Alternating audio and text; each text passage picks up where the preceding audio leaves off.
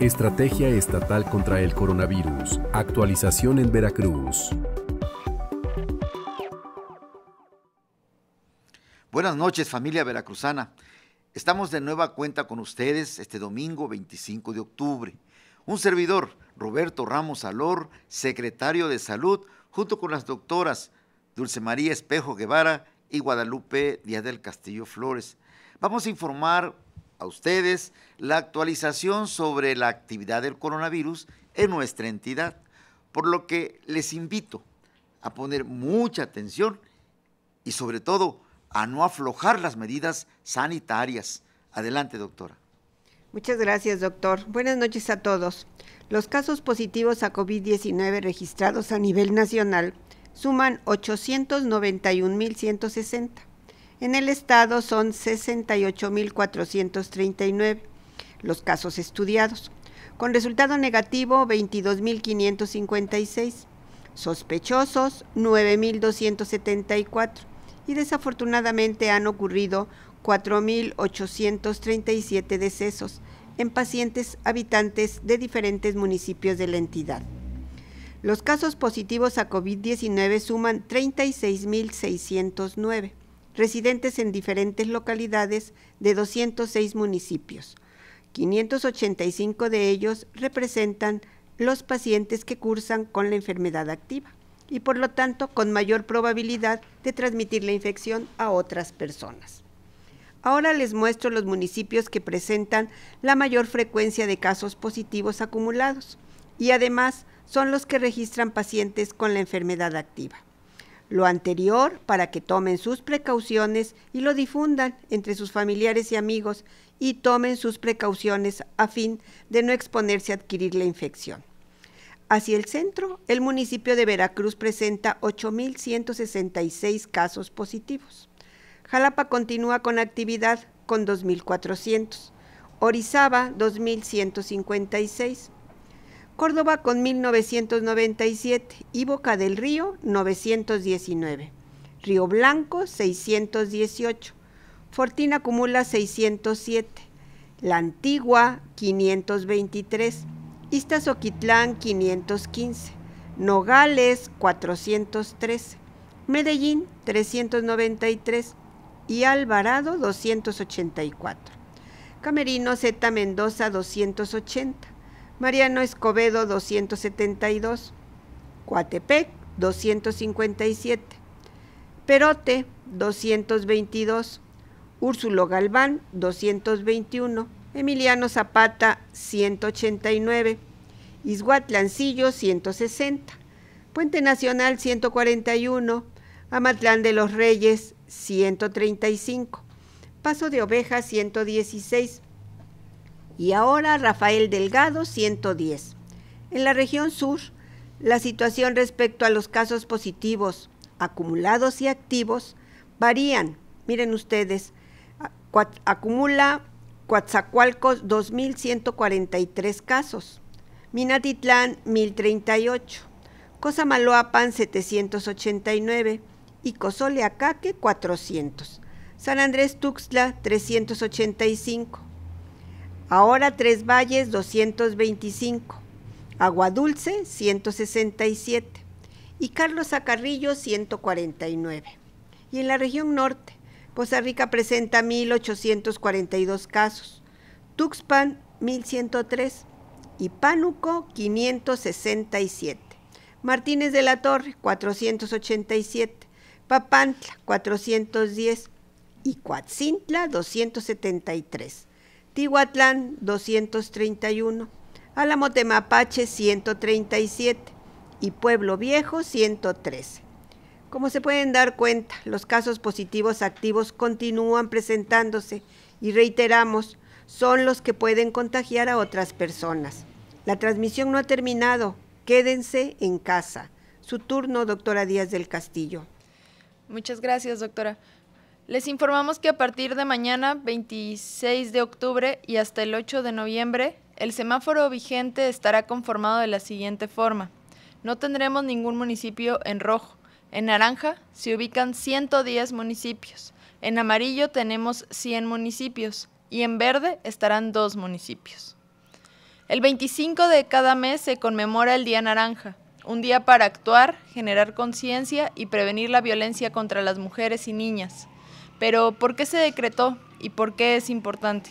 Fíjense, en todo el mundo, cada 25 de noviembre se conmemora el Día Internacional para la Erradicación de la Violencia contra las Mujeres. Por ello, cada 25 de mes es conocido como el Día Naranja que tiene como objetivo generar conciencia para prevenir y erradicar la violencia contra las mujeres y niñas. Llevamos varios meses en casa y para algunas mujeres y niñas han estado más expuestas a vivir actos y situaciones de violencia en el hogar, generados por los mismos momentos de tensión que se están viviendo. Todas y todos podemos ayudar a prevenir, disminuir y parar la violencia. Si escuchas gritos, insultos o golpes en alguna vivienda cercana o tú misma estás pasando por una situación, llama al 911 para reportar. Si conoces a alguna mujer que viva en una relación con violencia, puedes hacerle saber que no está sola y que hay opciones para ella que le ofrecemos desde el Gobierno del Estado y claro desde la Secretaría de Salud de Veracruz. Puede llamar al 075 para recibir asesoría. Presten atención ya que he mencionado dos teléfonos. El 075 para recibir asesoría sobre qué puede hacer una mujer que vive en violencia, a dónde puede acudir, qué sucede si denuncia, cómo se le puede brindar protección, entre otras muchas dudas que se encuentran en el sentir y pensar de la mujer que vive en una relación de violencia. Y el 911, al igual que en COVID-19, es para situaciones de emergencia como abuso sexual, acoso, hostigamiento, violación, golpes, violencia de pareja y violencia familiar. No tengas temor a llamar, trabajamos para apoyarte. Cedo el uso de la voz al doctor Ramos Alor. Muchas gracias, doctoras. Interesantísimos sus comentarios. Ciudadanas y ciudadanos, retomemos la importancia de seguir con responsabilidad y puntualidad las indicaciones de la autoridad sanitaria basada en el semáforo de su localidad. Les digo esto porque recientemente se les informó la actualización del semáforo local y que de acuerdo con la evaluación correspondiente, ahora marca 110 municipios en color naranja, que significa riesgo alto, 100 municipios en amarillo de riesgo medio.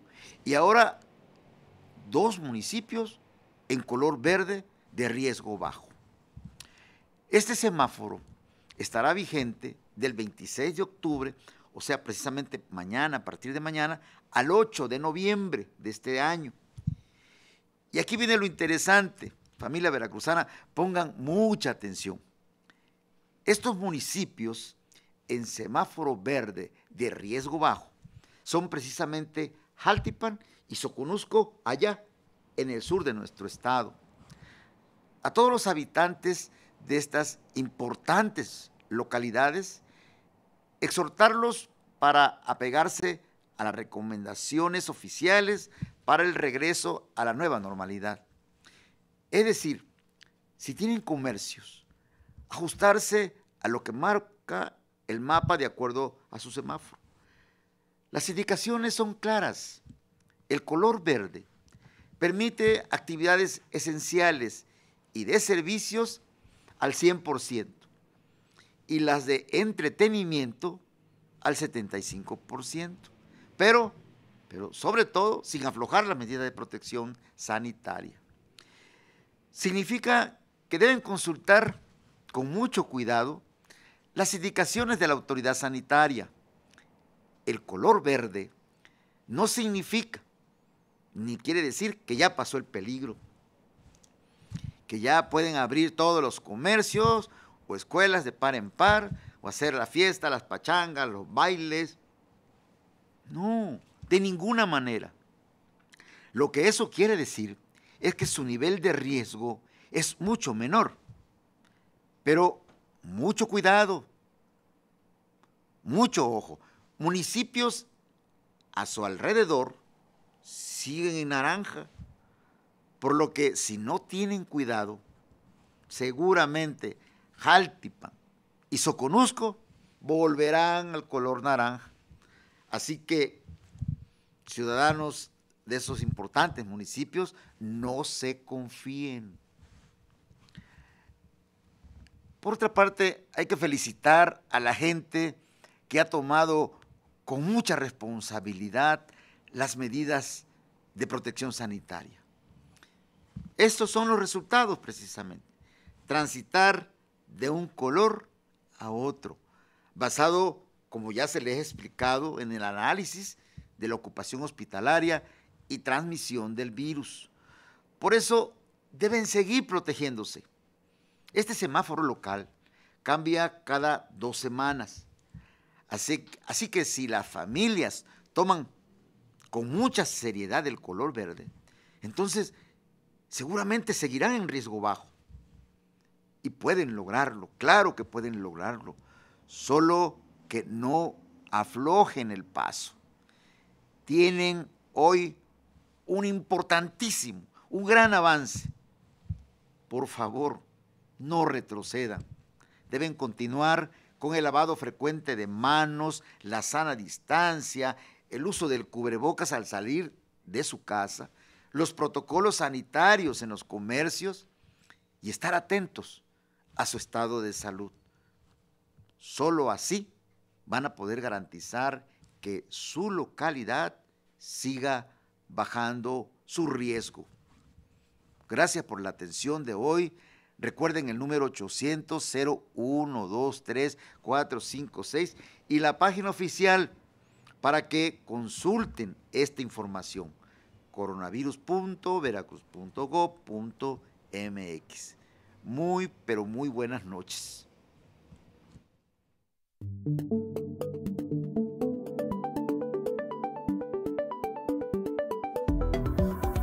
Estrategia Estatal contra el Coronavirus. Actualización en Veracruz.